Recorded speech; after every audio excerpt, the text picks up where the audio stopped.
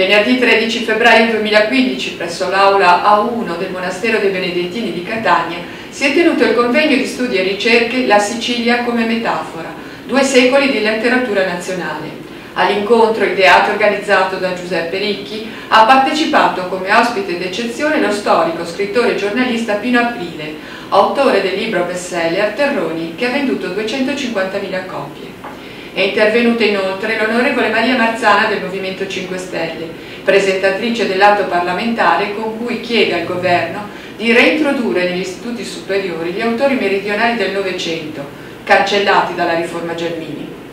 Abbiamo illuminato gli autori del sud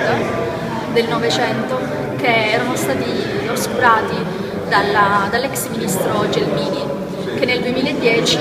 ha eliminato dalle indicazioni curricolari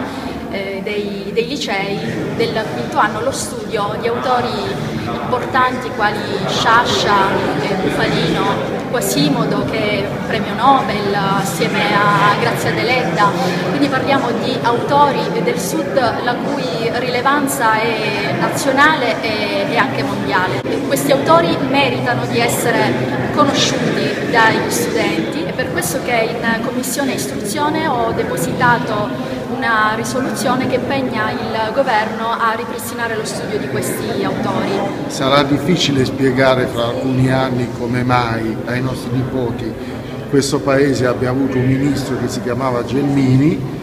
e eh, come sia stato possibile tollerare una portata inaudita, ovvero l'esclusione per indicazioni ministeriali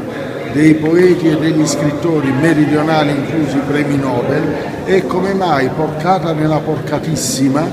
da cinque anni i partiti rappresentati in Parlamento e che hanno avuto anche da, da, da, dai tecnici di profumo al PD di Letta e eh, ora di eh, Renzi, eh, non sono, come mai abbiano tollerato che questa porcata continui.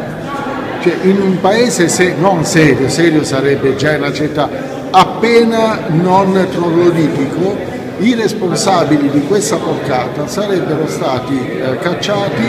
con eleganza, ovvero almeno a calci in culo dal Ministero. Invece stanno ancora lì e invece la, quella che è stata ministra per, che, che ha firmato questa roba e quelli che l'hanno eh, sono succeduti a lei ancora girano parlando in questo paese non avendo nessuno che risponda loro nel modo che meriterebbero eh, alla Edoardo un pernacchio da svergognarli per le sette prossime generazioni. Insomma, tanto di cappello a chi si sta dando da fare per mettere rimedio a questa che è una vergogna nazionale, non solo, ma vorrei essere chiaro, è una vergogna per chiunque di qualsiasi partito abbia tollerato questo per questi cinque anni. È cominciato l'esame di questa risoluzione in commissione e che una delle prime osservazioni che è stata fatta da questi partiti a cui si riferiva Pino Aprile è stata che l'impegno contenuto nella risoluzione sarebbe una rivendicazione localistica sì, insomma, Quasimodo sullo stesso piano della sagra della porchetta.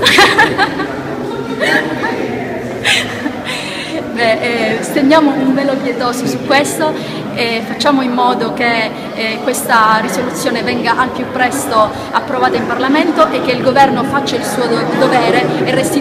restituisca lustro a questi autori e all'Italia e alla sua cultura.